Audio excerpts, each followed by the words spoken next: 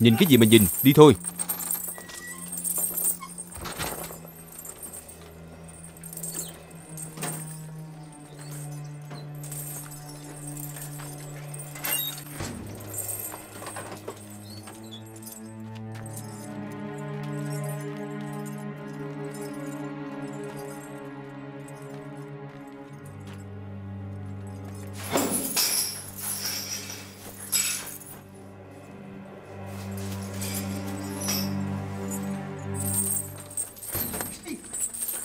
Sư đệ.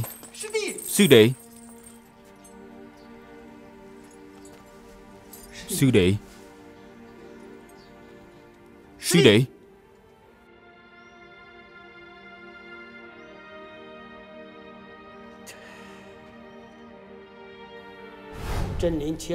Rồi sẽ có dân tài ghi chấn động thôi.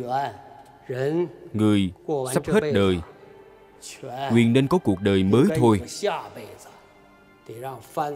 Phải cho phiên tử quyền có đường sống.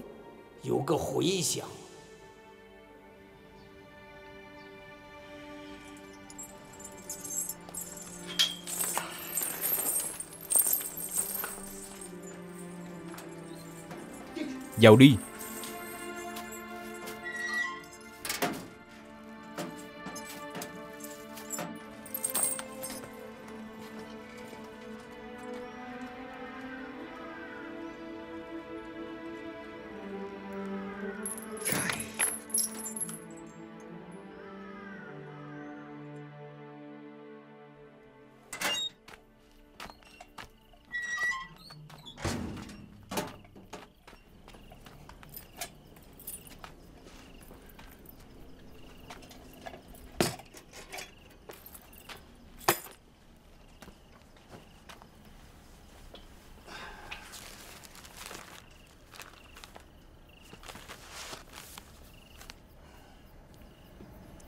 Đổng Dân Đường Phòng giam số 4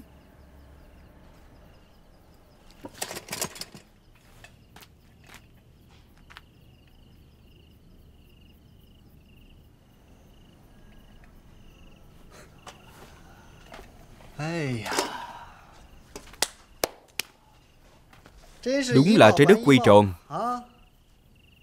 Mười ngày trước Ông đuổi tôi khỏi lôi đài. Bây giờ lại bị nhốt trong già lao của chúng tôi Ông già Ông nghĩ sao? Ông nói tôi ra tay tàn nhẫn Không có võ đức. Nhưng mà sao ông cũng chẳng thiện tâm gì cả thế? Tôi tàn nhẫn thế nào? Cũng đâu có giết người. Ô này Giết người rút cuộc là có cảm giác như thế nào? Với bản lĩnh của ông. Làm gì có ai bắt được ông? Tôi có thể nói cho cậu. Nhưng Tôi có một điều kiện. Cậu phải chuyển lời Chuyển lời của tôi cho người ngồi đối diện.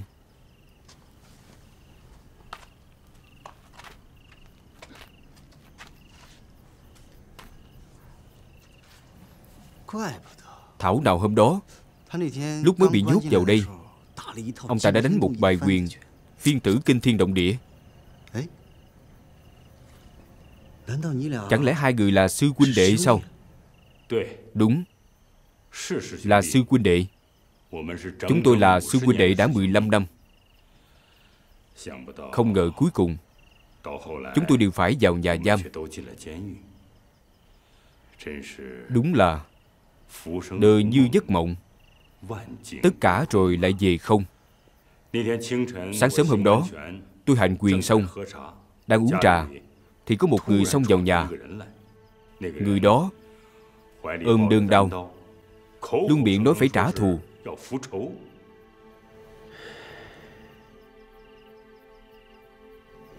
Thì ra Là do tôi.